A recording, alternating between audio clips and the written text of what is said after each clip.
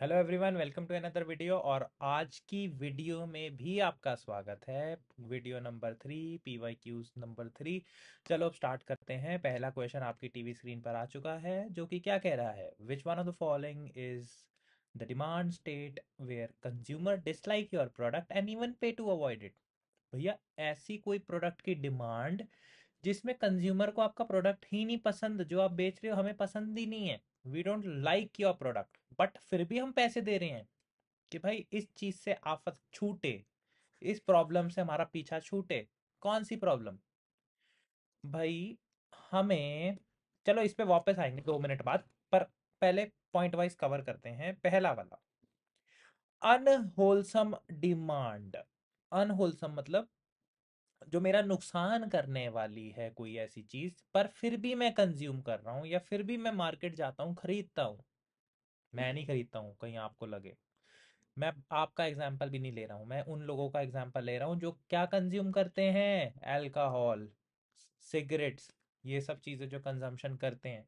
उनको पता है कि भाई अल्कोहल से मेरे को बॉडी में लिवर खराब हो सकता है। स्मोक करने से भाई उस डब्बे पे ही लिखा होता है smoking cause cancer unwholesome, they know it, but still they cannot stop themselves, they are addicted to it so this is unwholesome demand by addiction unwholesome demand तो ऊपर तो कोई ऐसी कोई बात ही नहीं कर रहा कि consumer dislike your product and even pay to avoid it भाई, ये तो अलग चीज़ कह रही है। अनहोलसम मतलब मेरे को पता है कि ये चीज़ खराब है बट फिर भी मैं कंज्यूम कर रहा हूँ। अगला क्या है? डिक्लाइनिंग डिमांड डिक्लाइन हो रही है। पहले लोग ज़्यादा खरीदते थे कंजम्पशन बहुत ज़्यादा हाई थी। धीरे धीरे धीरे धीरे करके कम होती चलेगी, कम होती चलेगी। आज की डेट में मेरे को बताओ म्यूज़िक सीडीज़ का अगर हम एग्जांपल लें ठीक है, म्यूज़िक सीडी का अगर मैं यहाँ पे एग्जांपल लूँ तो क्या कोई आज की डेट में सीडी खरीदता है? मेरे को तो नहीं लगता।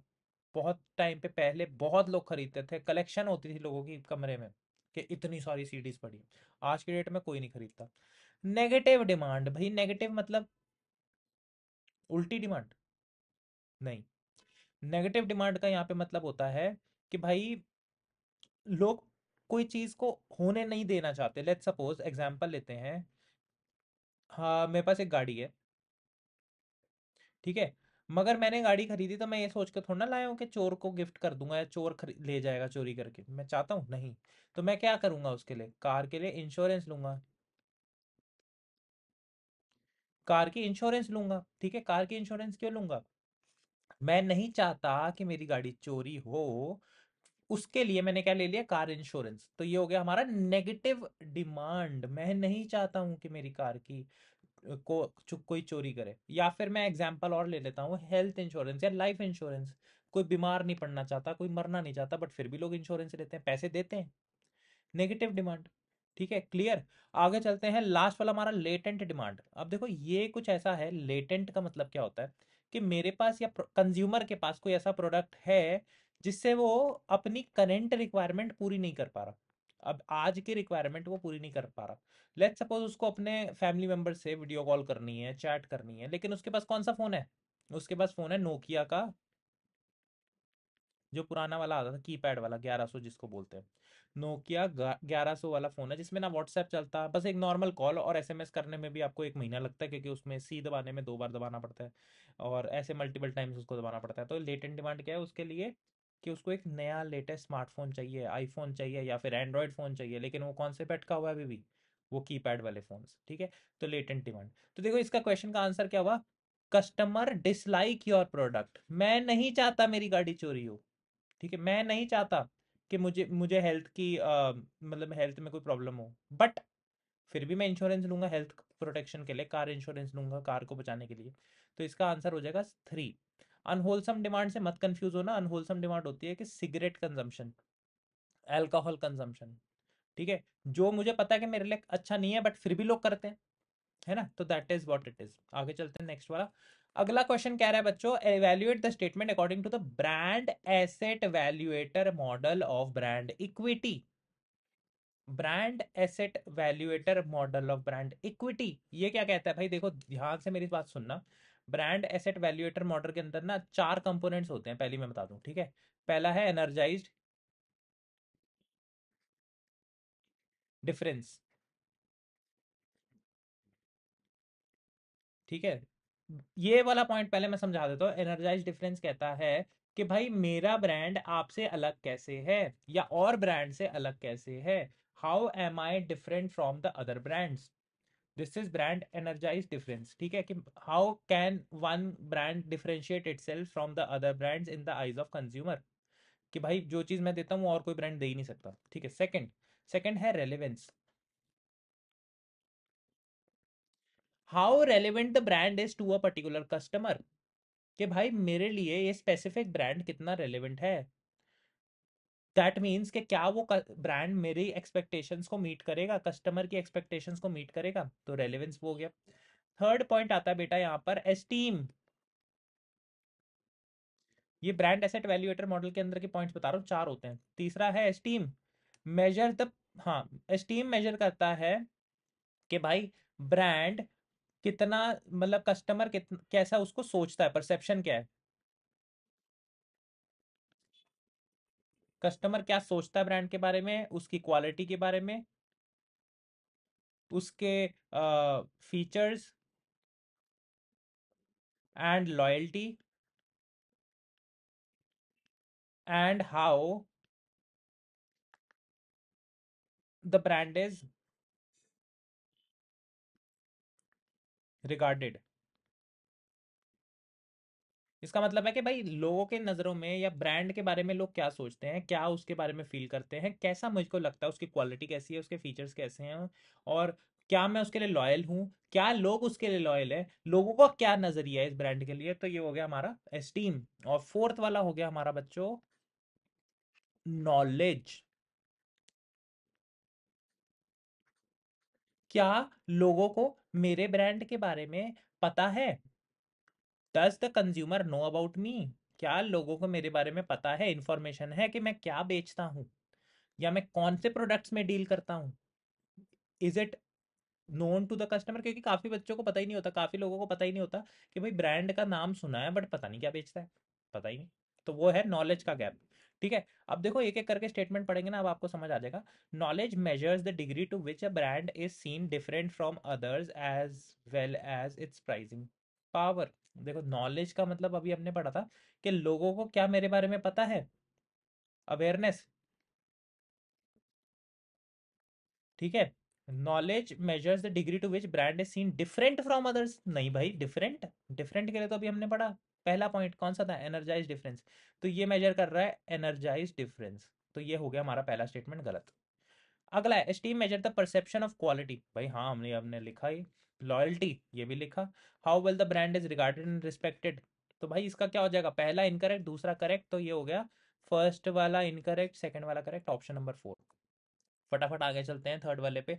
If an coaching institute provide some supportive study material along with teaching then which one of the following service mix category would it be भाई कोचिंग इंस्टीट्यूट पढ़ाते भी हैं, उनका मेन काम है पढ़ाना, ठीक है? और दूसरा काम क्या है? आपको समझाना।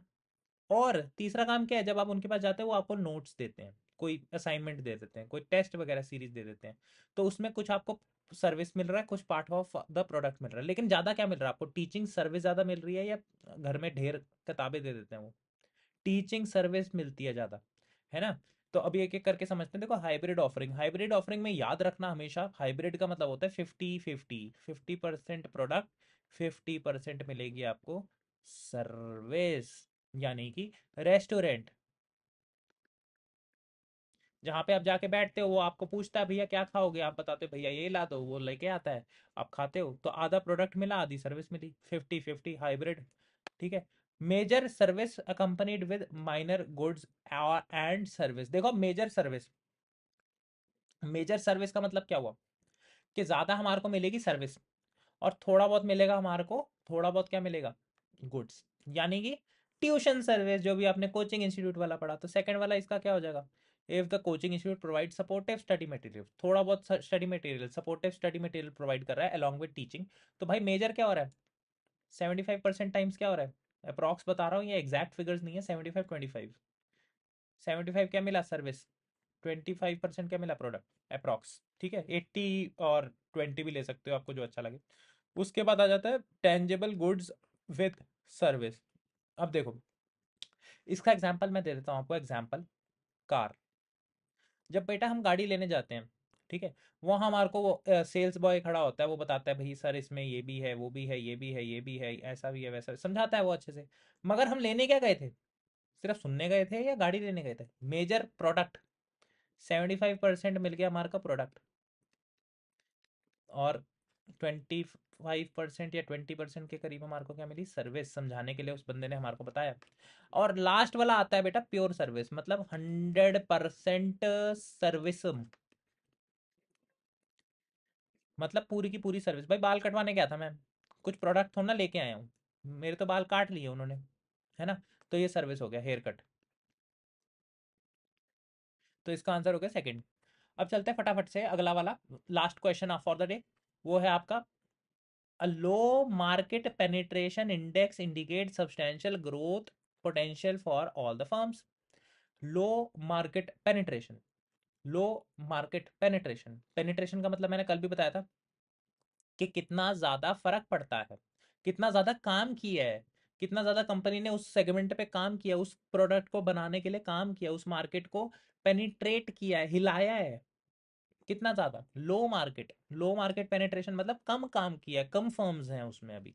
Low market penetration index indicate substantial growth potential for a firm. भाई अभी इसमें ज़्यादा लोग नहीं है। अभी इसमें ज़्यादा कंपटीशन भी नहीं है प्रोडक्ट भी ज़्यादा नहीं बना हुआ। आपकी ही पहली कंपनी हो सकती है मे बी एग्ज़ाम्पल मैं ले, लूँ यहाँ पर एग्ज़ाम्पल आज की डेट में कितनी गाड़ियाँ उड़ती हैं? कितनी गाड़ियाँ उड़ती है, सर? क्या अभी तो एक भी नहीं उड़ती है, ठीक है? तो कोई गाड़ी नहीं उड़ती। तो अभी हम ले सकते हैं market penetration for flying cars is very low या नॉन एग्जिस्टिंग कह लो, ठीक है? फ्लाइंग कार्स अभी कंपटीशन है इसमें? नहीं। कंपनीज़ है इसमें? नहीं। अभी तो ईवी वॉर चल रही है इलेक्ट्रॉनिक व्हीकल्स की, है ना? मार्केट पेनिट्रेशन अभी क्या है? लो, ठीक है? Generally price competition increases and margin falls when market penetration index is already high. Competition, price competition increase करता है, मार्जिन फॉल करते हैं, ऑब्वियसली जब प्राइस कंपटीशन इंक्रीज होगा, ज़्यादा से ज़्यादा कंपनियाँ उसमें स्टेप इन करेंगी और भी ज़्यादा लोग उसमें आना चाहेंगे कंपटीशन बढ़ेगा मार्केट पेनिट्रेशन ज़्यादा हो जाएगा तो उसमें मार्जिन भी तो कम होगा प्रॉफिट भी तो हमारा कम होगा, कम हमारे को प्राइस रखना पड़ेगा, ज़्यादा रख देंगे तो कोई खरीदेगा नहीं। तो भाई पहला वाला भी सही है, दूसरे वाला भी सही है। पहला वाला क्यों सही है? Low market penetration substantial growth potential है भाई, ज़्यादा लोग नहीं आते अभी गाड़ियाँ बनाने, उड़ने वाली, ठीक है? और दूसरी चीज़ क्या है? कि market penetration index is already high second वाले में कह रहा है कि अगर प्राइजेज प्राइस कॉम्पिटिशन बहुत ज़्यादा है बिकॉज़ मार्जिन बहुत कम है बिकॉज़ कॉम्पिटिशन बहुत ज़्यादा है पेनेट्रेशन बहुत ज़्यादा है तो both the statements are correct तो इसका हो गया वन अब चलते हैं थैंक यू की तरफ़, मिलते हैं अगली वीडियो में.